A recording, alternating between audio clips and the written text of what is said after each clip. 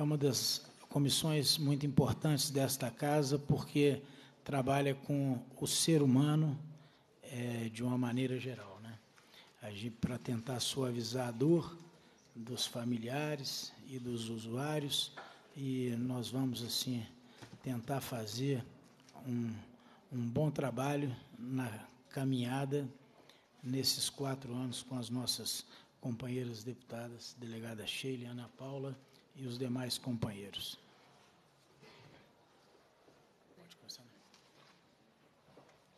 A número regimental. Declaro aberta a primeira espe reunião especial da Comissão de Prevenção e Combate ao Uso de Crack e Outras Drogas, da primeira sessão legislativa ordinária da 19ª legislatura. A presidência solicita que os deputados e deputadas façam seu registro biométrico no terminal. Para tanto, aperte o comando registrar presença e posicione a digital no leitor, observando se a presença, se a presença foi computada.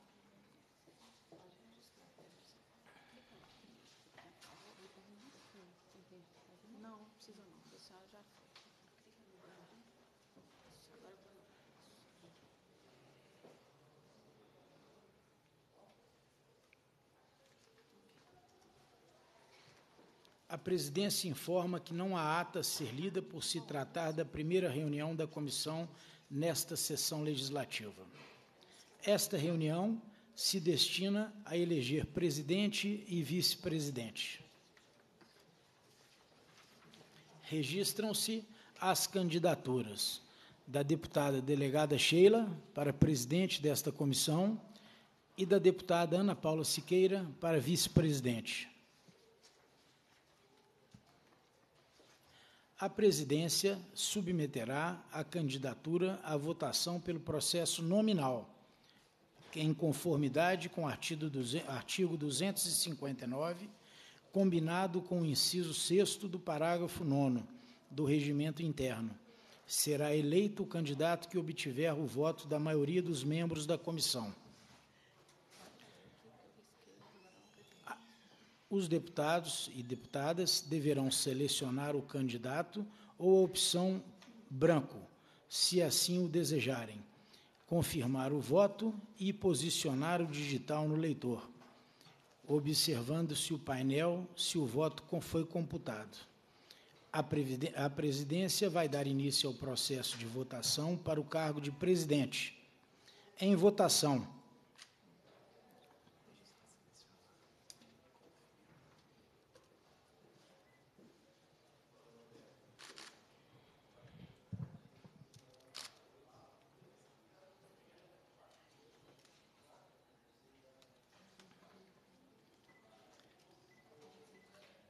Encerra-se a votação.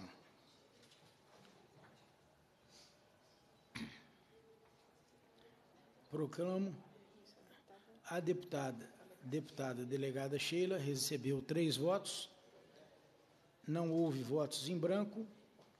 Proclamo eleita para presidente da comissão a deputada delegada Sheila.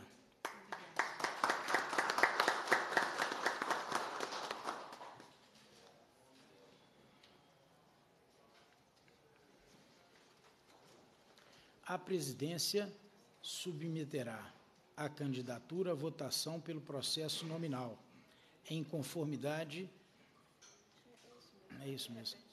Em conformidade com o artigo 259, combinado com o inciso 6 e 8 do artigo 9 do, do regimento interno. Será eleito o candidato que obtiver a maioria simples dos votos, ou, havendo empate, o candidato mais idoso os deputados e deputadas deverão selecionar o candidato ou opção branco, se assim o desejarem, confirmar o voto e posicionar o digital no leitor, observando no painel se o voto foi computado. A presidência vai dar início ao processo de votação para o cargo de vice-presidente. Em votação.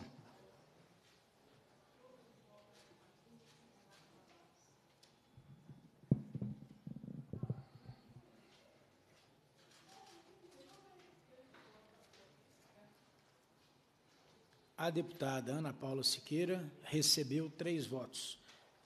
Não houveram votos em branco. Proclamo eleita para o cargo de vice-presidente a deputada Ana Paula Siqueira.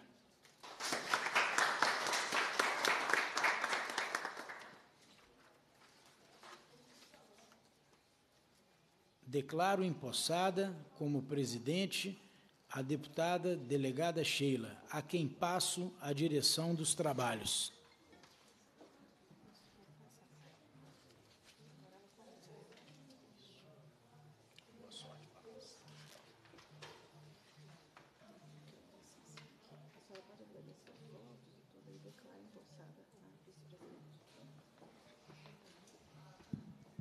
Boa tarde a todos. É, agradeço né, de coração ao voto de confiança dos nossos colegas, Ana Paula, o Gustavo, né, e agradeço também a presença de todos que estão aqui e declaro empossada é, como vice-presidente a deputada estadual Ana Paula Siqueira.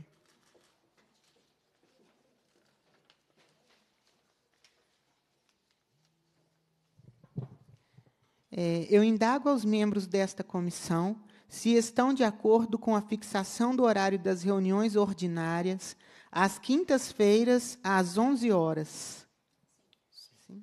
Fixado o horário das reuniões ordinárias para quinta-feira, às 11 horas.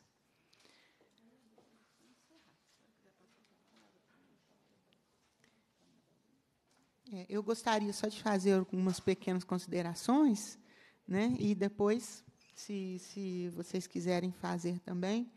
Dizer que, para mim, é um momento de muita alegria né, é, e de muita esperança também.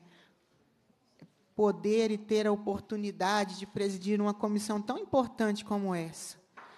É, eu tenho aí 18 anos de carreira na Polícia Civil. Sempre gostei muito de trabalhar mais nessa área operacional. E as pessoas sempre me perguntam por que você entrou né, para a política, o que te levou a trabalhar na carreira política. E eu sempre tenho aquela resposta de que, trabalhando ali no dia a dia, né, estando praticamente todos os dias dentro da casa das pessoas, e normalmente e infelizmente a polícia está na maioria dos seus dias, nas, nas casas das pessoas mais pobres. A verdade é essa, né? Nos morros, nas comunidades. Essa é a realidade da Polícia Civil e da Polícia Militar no nosso país. E, e eu me deparei muitas e muitas, centenas de vezes, talvez, né, com residência, onde a gente chega, chuta a porta, vai cumprir mandado de busca e apreensão, para prendermos traficantes de drogas, homicidas e tudo mais. E ali dentro daquela casa a gente sempre observa que nosso trabalho, na maioria das vezes, é exitoso, né? apreendemos drogas, armas de fogo, é, levamos pessoas conduzidas, muitas vezes pais de famílias, mãe, pai, né, filhos do casal, e nós sempre comentamos, né? Poxa, esse pessoal é, se encontra nessa vida, mas sempre na mesma. Tem droga, tem arma, mas não tem nada. Eles não têm nada, não tem comida, não tem remédio. E tem crianças, né? Como vive? É, não tem dignidade. Então está faltando alguma coisa, né?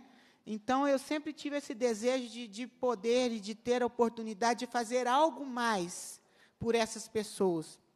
Não tem esse viés de protecionismo, não. Não estou dizendo aqui, né, que eles são, sim, totalmente vítimas da sociedade. Eu não tenho esse discurso, não.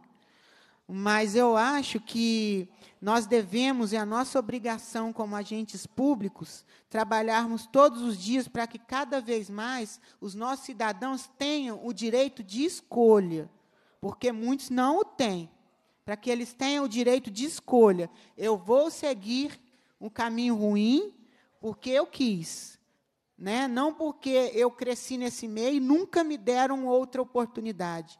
Eu nunca tive a oportunidade de frequentar um curso técnico, né, de, de, de, de frequentar uma escola integral para que a minha mãe pudesse trabalhar com tranquilidade, que eu não ficasse nas ruas sendo doutrinado por maus elementos.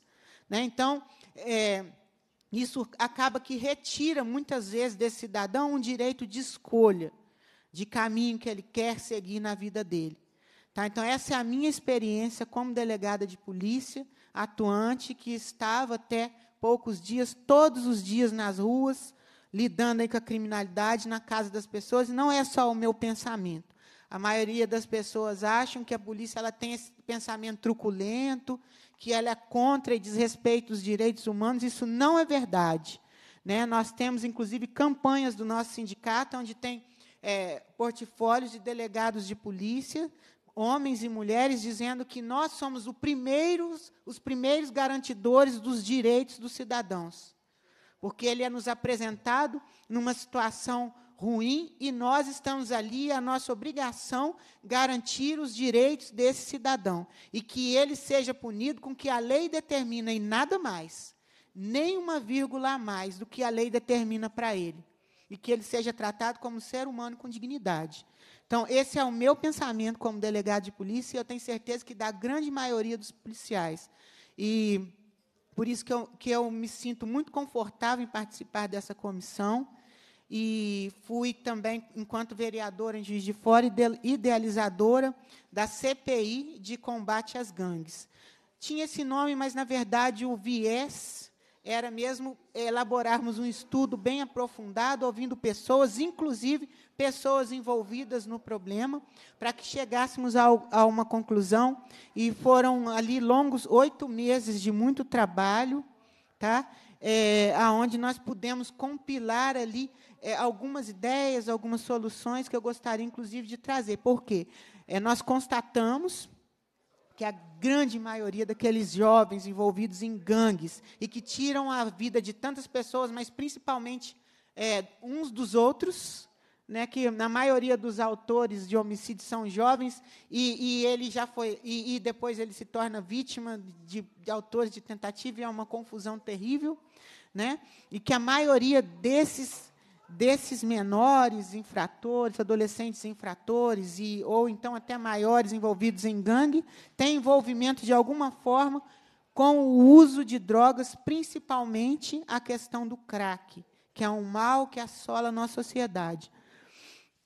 É, e nessa comissão também, é quase que unanimidade dos profissionais que foram ouvidos e que contribuíram foram juízes, promotores de justiça, delegados de polícia, é, é, sociólogos, jornalistas, é, policiais, pessoas que é, assistentes sociais, pessoas que estão lidando diretamente com o problema, pessoas de comunidades terapêuticas, é, ex-dependentes químicos e por aí vai. Né? É, é, é, quase, que, quase que não foi unanimidade dessas pessoas é, a afirmação de que os projetos sociais de prevenção eles contribuem muito para que jovens deixem de entrar para essa vida das drogas. Muito mesmo. É, nós chegamos até um projeto social que já existe no Estado de Minas Gerais há bastante tempo, que é o, o projeto Fica Vivo. Né? E esse projeto ele nos foi prometido depois do relatório dessa CPI, foi realmente implantado em Juiz de Fora, tem um ano, e eu fico muito feliz, né, até emocionado em anunciar, ó, matéria do jornal local de Juiz de Fora, que morte de jovens e adolescentes cai em quase 90% em bairros com programas de prevenção à criminalidade em Juiz de Fora.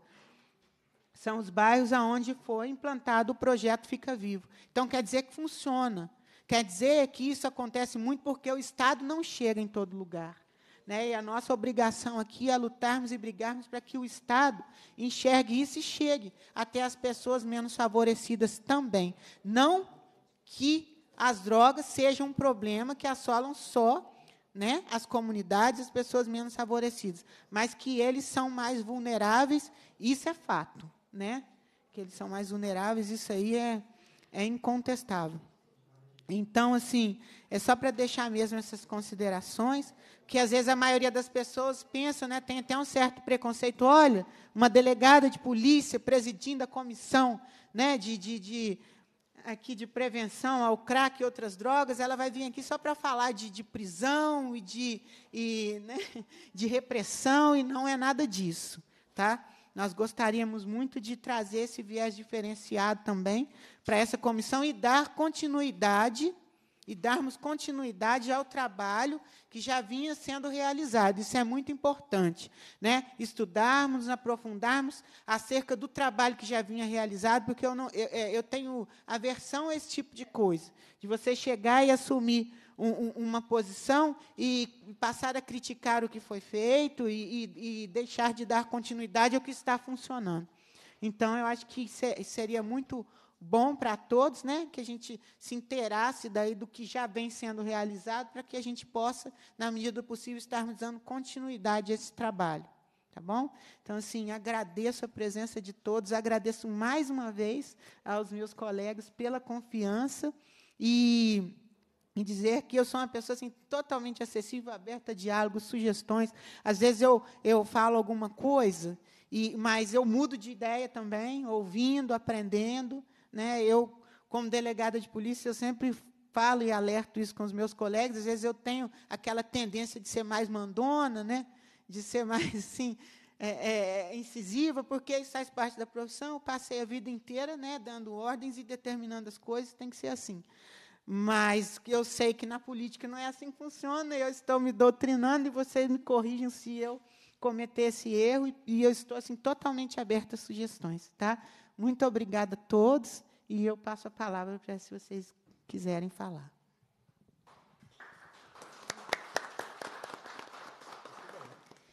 Boa tarde a todas e a todos.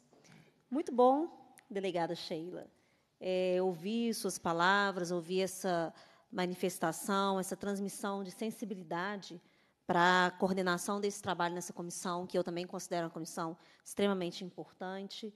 É, eu sou professora, sou assistente social e, e venho de uma realidade de vida onde, nas periferias de Belo Horizonte, eu venho de uma grande periferia aqui da nossa regional leste, a gente convive diariamente com a problemática das drogas. E eu acredito muito que o nosso poder legislativo ele pode atuar é, construindo alternativas, ajudando o governo a pensar políticas públicas que cheguem na ponta e que cuide das nossas pessoas e que trate as nossas famílias com respeito, com dignidade e deixando o ambiente familiar oportuno para a convivência do amor, né, da paz, da serenidade, e certamente isso acaba contribuindo aí para a formação dos nossos jovens. Os dados em termos é, do uso de drogas, especialmente o crack, que é uma das nossas, é, como a, do, a delegada Sheila colocou aqui, né, uma das grandes mazelas da sociedade, eles são alarmantes. Aqui em Minas Gerais, em cada 10 dependentes químicos, cerca de 8 iniciaram o uso das drogas entre 5 e 17 anos. Isso é um dado que me deixa assim, arrepiada, porque isso quer dizer que a nossa infância, adolescência e juventude está sendo cometida por esse grande mal. E eu espero muito poder contribuir nesse trabalho aqui na comissão, uma comissão que eu tive a imensa alegria de participar da fundação dela enquanto comissão provisória, né, Marcelo, lá em 2012. Pudemos contar com o Marcelo Deruzzi, que está aqui conosco, como um dos técnicos que nos ajudou a produzir o trabalho, a criar interlocução com os diversos atores que debatem, que discutem, que militam nessa política. E, posteriormente, fruto de um resultado exitoso da construção da política pública, a gente conseguiu transformar essa comissão provisória em comissão permanente. Eu era, à época, assessora parlamentar aqui na casa e trabalhamos arduamente, conseguimos esse feito. Até aproveitei a oportunidade de hoje, entreguei aqui, tanto à delegada Sheila e também ao Gustavo, um relatório que foi produzido por essa, por essa comissão. É um relatório bastante extenso, mas que traz aqui um extrato do que nós investimos.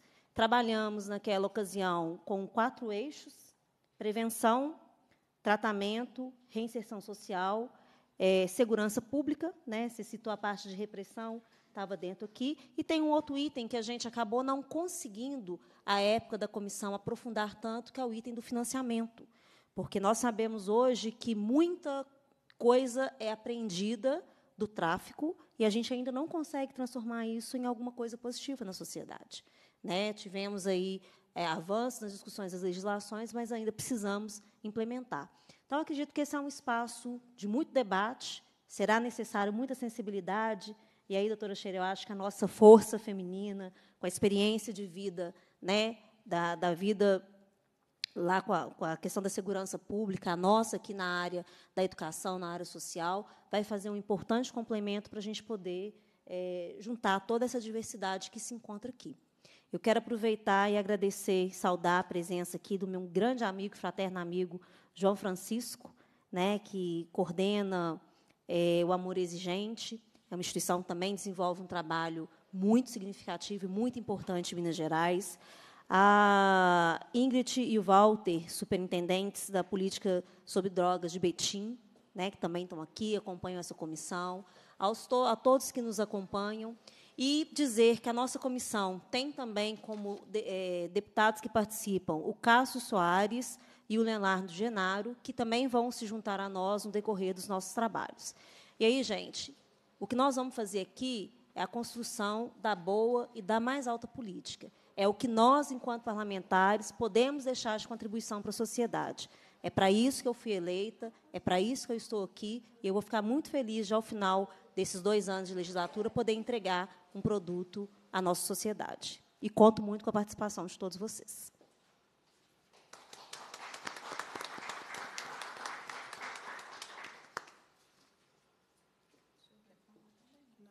Que eu já dei uma palavrinha antes. Eu acho que é agradecer a presença de todos e dizer que contem com o nosso trabalho para, como a nossa companheira aqui, nossa amiga deputada Ana Paula disse, a delegada Sheila também, é, nós estaremos atentos é, para dar uma contribuição à sociedade nessa nessa encruzilhada que nós vivemos hoje, né, que é uma epidemia que assola muitas famílias e se a gente puder deixar a nossa marca, é, que seja singela, uma modesta contribuição, é, eu acredito que nós estaremos é, fazendo a nossa parte como parlamentar.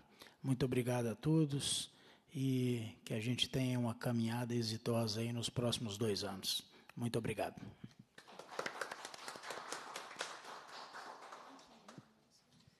Cumprida a finalidade da reunião, a presidência agradece a presença de parlamentares, convoca os membros para a próxima reunião ordinária, determina a lavratura da ata e encerra os trabalhos.